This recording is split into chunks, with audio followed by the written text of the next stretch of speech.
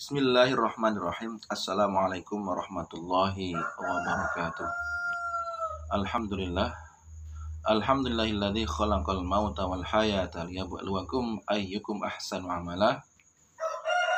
Asyhadu an la ilaha illallah wahdahu la syarika lah wa asyhadu anna Muhammadan abduhu wa rasuluh. Allahumma shalli ala sayyidina Muhammad wa ala ali sayyidina Muhammad. Sahabat dan Allah, Nah, kali ini kita akan membahas tentang kesalahan-kesalahan mendasar dalam membaca suratul Fatihah. Nah, surat Fatihah ini eh, minimal kita baca 17 kali dalam sehari semalam sebagai seorang muslim. Yang pertama, kesalahan mendasar pertama adalah eh, berkenaan dengan huruf-huruf uh, ya. Makhrajul huruf. Contoh mendasar uh, huruf alif dengan ain. Kayak misalnya uh, a'udzubillahi minasyaitonirrajim bismillahirrahmanirrahim. Alhamdulillahirabbil a ain ini. Tidak boleh. Alamin hamzah atau alif ya Nah, biasanya alif dengan hamzah ini ya, uh, alif dengan hamzah dengan ain ini ini uh, sering sama orang. A dengan A. Terus juga yang salah biasa juga uh, ha dengan ha. Bismillahirrahmanirrahim. Nah, ini ha dengan Bismillahi jelas hak. Bismillahirrahmanirrahim. Hak ini eh, kita juga sering him eh, hak dengan hak ya hati-hati ini hak eh, karena berbeda pengucapan huruf ini berakibat arti juga berbeda. Ada juga yang A itu dibaca nga. Alhamdulillahirabbil alamin ya. Dan ada beberapa huruf uh, ini juga sebenarnya kalau membaca ini ada 28 huruf ini uh, pembahasannya tersendiri ya. Kalau kita pernah mendengar atau itu ya di RR Surabaya setiap Ramadan itu ada Ustadzul Hilmi itu membahas Eh, sifat-sifat huruf ini dalam satu bulan itu baru selesai. Sehari satu huruf ya. Jadi kita belajar huruf demi huruf. Kemudian kesalahan yang kedua tadi kan tentang huruf ya itu uh, hanya sebentar aja contoh kita mari belajar ya. Yang kedua tentang uh, tentang harokat. Fathah kasroh duma. Fathah harus buka kasroh harus meringis duma harus mencucu tidak boleh. Bismillahirrahmanirrahim. Nah, harus bis kasroh. Bismillahirrahmanirrahim. Kalau kasroh, kalau fathah arroh ah mengkok. Apa? Membuka. A arrohmanirrahim nggak boleh. E Bismillahirrahmanirrahim ini hati-hati ya. Goi ril men, meringis. Mau du du du du uh, ya itu ya. Fathah kasroh duma fathah buka kasroh itu meringis. Uh, ini harus jelas harus belajar ini harus kita belajar disiplin. A i u. A i u. Nah, seorang penyiar aja penyiar televisi atau radio itu ada senam mulut itu. A i u e u. A i u. Nah itu untuk kerja ya ya, kalau kita ingin baca Al-Quran ya. Ya belajar Bismillahirrahmanirrahim. Ya kita berusaha itu ya belajar ya. Kemudian kesalahan yang ketiga ya. Biasanya tuh sering ini eh, apa pengucapan dengan tawalud. Bisa Bismillahirrahmanirrahim. Bisa tadi. Ada juga Alhamdulillahi rabbil alamin. Allah, Allah. Ini ini contoh nanti kalau terbiasa tawalud dibenarkan itu uh, sulit diingatkan. Makanya kalau bisa anak-anak kita seawal ini kita disiplinkan diri ya. Alhamdulillah. Al ditekan. Gak boleh lama. Alham. Gak boleh ditekan aja. Alhamdulillahi rabbil a. Gak boleh bila. Allah. Ya namanya tawalut. Bisa. Bismillah. Ya, Allah. Ya itu ya.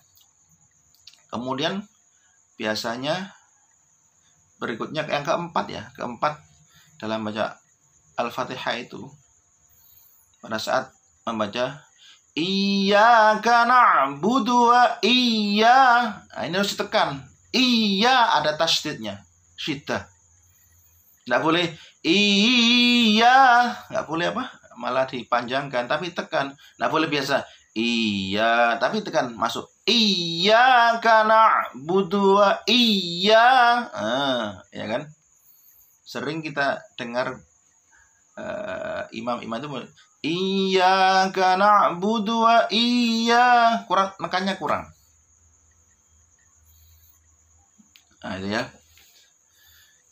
Seperti tadi uh, kadang juga yang kelima itu ada pada saat baca iya karena wa ka nas nah itu ada kayak tak apa sakta itu ya sakta artinya berhenti sebentar tanpa bernafas. Iya karena butuh wa ka nas nah karena ini artinya iya ka nak bukan kanak seperti ini eh, berkenan hurufnya ini iya ka nak butuh wa iya nah, bukan iya karena nah, bukan. Itu putus kalau memutuskan artinya jadi eh, terus kemudian ya kembali lagi eh dinas itu kalau nggak kita ndak ndak bener-bener disiplin membaca ih dinas siro nah itu pakai ih pakai hak tadi hak dengan hak itu sekali lagi hak dengan hak itu ihtinas uh, hak dengan hak hati-hati. Terus shot shot kadang dengan sin. Uh, biasanya ihdinas si so, so, sil. Bukan ihdinas si enteng aja. Jadi membaca Al-Quran itu kita harus belajar memberikannya hak-hak huruf itu. Nggak eh, boleh takut oh nanti penceng ini semuanya penceng kiri kanan. Nah. Uh, terus kadang pada saat mewasolkan antara uh, satu ayat dengan ayat berikutnya berikutnya ya ini harus tahu ini pakai nata nita nu atau berhenti jadi kalau kalau diwasolkan itu harokatnya dibunyikan. Misalnya, Alhamdulillahi Rabbil Alamin. Nar, ya, ya. Alhamdulillahi Rabbil Alamin Ar-Rahmanir Rahim Mima. Ah, enggak boleh enggak Ar-Rahmanir Rahim Malik ya Ar-Rahim Mima. Ah. Sering kita dengar Ar-Rahmanir Rahim. Nah, itu langsung disambung. Nah, makanya eh, sebaiknya kita baca Al-Fatihah tidak terpuru-puru. Coba kita baca ya. A'udzu billahi minasyaitonir rajim. Bismillahirrahmanirrahim. Alhamdulillahi rabbil alamin. Arrahmanirrahim. Malik Maliki yaumiddin. إياك نعبد وإياك نستعين. اهدنا الصراط المستقيم. صراط الذين أنعمت عليهم غير المغضوب عليهم ولا الضالين.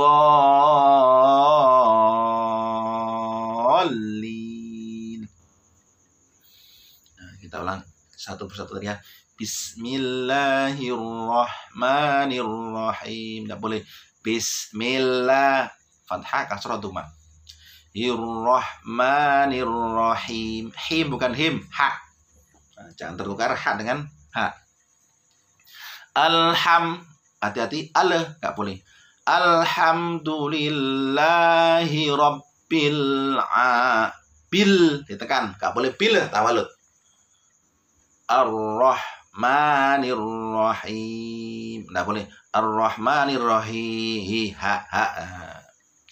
Maliki yaumiddin. Maliki ada ada ya ma, ada riwayat gitu terus yang kedua Maliki yaumiddin. Biasanya ada imam itu yang fathah yang pertama itu panjang Maliki yang hat nanti di uh, di rawat kedua ma-nya itu pendek maliki yaumiddin. Yau. Nah, maka ini nggak boleh. Ayo yau. Yau. Langsung. Yau middin meringis. Iya.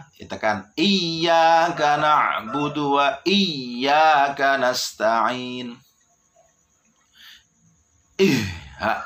Boleh. Ihtinas ihtinas sirat ihdinas siratal tok tok bukan tak. Siratal tok tok nah. sira ihdinas siratal musin. Mustaqim. Qaf. Nah qaf biasa nih jangan sama dengan kaf. Ko ko kaki kubak. Koki kubak. Kok nah ini. Kaf dengan qaf ini biasanya. Siratal ladzi nah, siratal mustaqim qaf mustaqim biasa. Nah, ini. Qaf huruf-huruf ini mirip qaf dengan kaf ini. Uh, makanya kita harus juga hafal hurufnya. Ini pakai qaf atau kaf? Nah. ihdinas siratal mustaqim. Siratal bukan sekedar si siro siratal. Sinnya salah toknya salah. Pakai short siratal ta ta ta siratal ladzina an'am. Nah, ini biasanya ada tahawul juga an'am. Ini ada izhar ya. Nun mati ketemu ain. An'am. Yang pertama enggak boleh tawalut, enggak boleh anna siratal ladzina an'am tak salah. An'am. Kemudian an'am ini pakai ain. An'am bukan an'amta nah. An'am. Nah ini. Hati-hati ya. Tawalud dan uh, ain. Jangan sampai tertukar dengan hamzah. Bukan alif ya hamzah yang betul itu. Siratal ladzina an'amta alaihim. Gak boleh alaihim.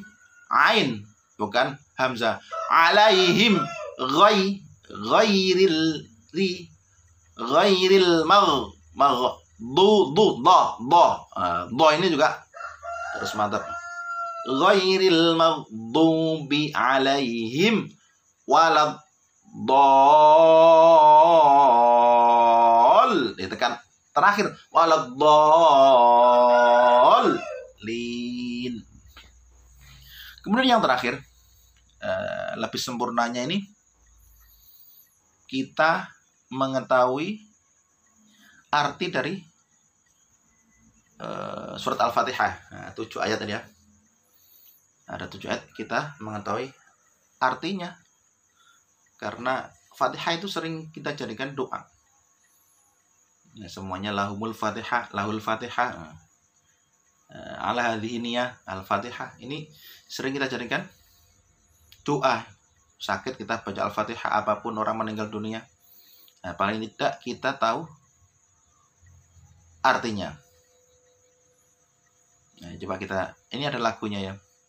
Mulai dari Bismillahirrahmanirrahim dengan menyebut namamu ya Allah yang maha pengasih penyayang.